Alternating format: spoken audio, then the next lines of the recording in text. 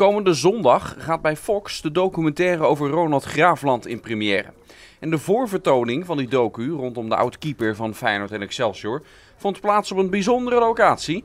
In de snackbar, die centraal staat en stond in zijn leven. Vanaf uh, drie maanden woon ik hier en we zijn nu 38 jaar verder en ja, het, het staat nog steeds. Dus uh, ja, wat ik zeg, uh, snackbar en topsport, dat kan bij mij samen. Familie en collega's komen bij elkaar om de film te zien.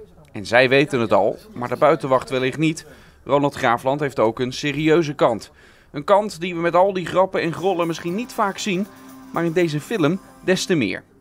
Dat heeft bijvoorbeeld met dit moment te maken. Een zware hoofdblessure die Graafland oploopt aan het begin van deze eeuw. Een hersenkneuzing die grote impact heeft gemaakt.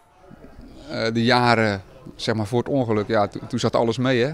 Uh, talentvol, uh, ja, tot jong oranje zeg maar. En vanaf dat moment, ja, na die klap, is er wel een hoop gebeurd in mijn leven. En moest ik steeds weer vallen en opstaan. En dat is ook een mooie naam voor, voor de docu geworden. Maar goed, het is ja, ook, ook, ook de mindere kanten van, van het leven zitten erin. En dan vind ik, als je een document maakt, dan, uh, dan moet dat er zeker in. En dat is ook wel een, een rode draad in, in mijn leven geweest. En ik heb uh, gelukkig door het voetbal, heb ik ook de positieve kanten van het leven kunnen zien. Dus dat, uh, dat vind ik wel fijn dat dat er beide, beide in zit. En wat te denken van het plotselinge overlijden van zijn vader. Graafland spreekt er in de documentaire openhartig en emotioneel over. Hij had vakantie. Snack, snackbar was dicht.